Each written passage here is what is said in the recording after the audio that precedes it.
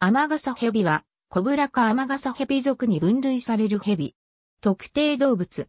台湾アマガサとも呼ばれる。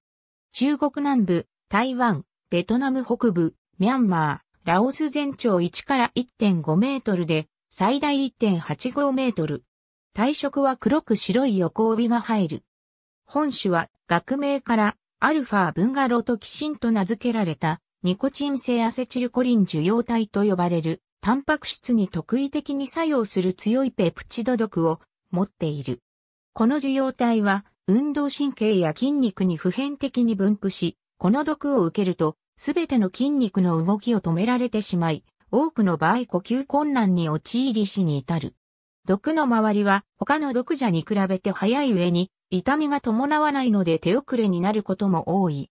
なお、人の致死量はわずか2から 3mg で針のようなものの先端に毒をつけて、刺すだけで大人も死に至らしめる。このため、現地のヘビ取り人でさえ本種には手を出さないほどである。その得意性の高さから、神経科学研究の現場では頻用されている。このヘビは一般的にあまり攻撃的な性格ではないが、人家付近にも生息するため、誤って踏んでしまったり暖を求めて寝床に潜り込まれたりして噛まれてしまう事故が多い。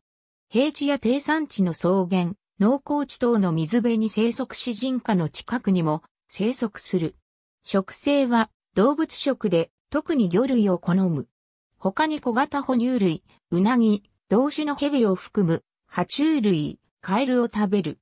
繁殖形態は卵性で1回に3から12個の卵を産む。インドでは四大毒蛇の一種として恐れられている。ちなみに、他の三種は、インドコブラ、ラッセルクサリヘビ、カーペットバイパーである。中国南部、台湾などでは、食用として扱われる。ありがとうございます。